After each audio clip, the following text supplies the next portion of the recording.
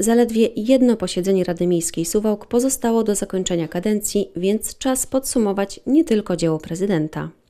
W Suwalskiej Radzie Miejskiej pracuje 23 radnych. Zrzeszają się w trzech klubach i jednym mikroskopijnym, nawet nie klubie, ale zaledwie ugrupowaniu.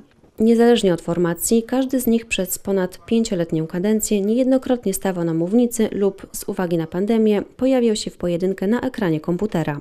Ale prócz takich wystąpień radni sporządzali też pisemne wystąpienia. Ogółem 23 samorządowców skierowało do prezydenta 336 takich wystąpień, choć tak naprawdę 23 to jednak przesada. Trójka, jeśli chodzi o interpelację, właściwie była nieaktywna.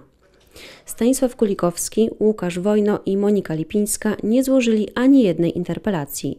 Panią można usprawiedliwić, bo do Rady wkroczyła zaledwie kilka tygodni temu, w miejsce debiutującego w Sejmie Jacka Niedźwieckiego. Jej poprzednik miał na samorządowym koncie zupełnie przyzwoity wynik. Niewiele pisemnych wystąpień odnotowaliśmy u radnych. Andrzeja Turowskiego jedna interpelacja, Krystyny Gwiazdowskiej trzy, Karpińskiej cztery, Wojciecha Pająka też cztery.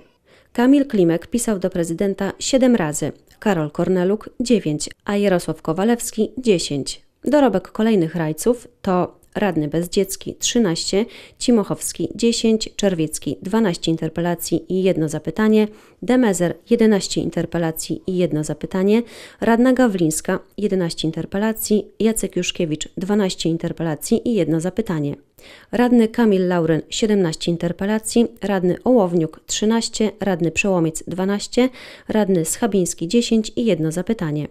Czas na pierwszą trójkę. Na najniższym stopniu tzw. Tak pudła radny Zborowski-Weichmann 15 interpelacji. Stopień wyżej Jacek Roszkowski z dorobkiem w postaci 39 interpelacji.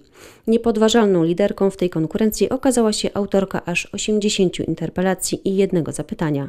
Radna Anna Ruszewska.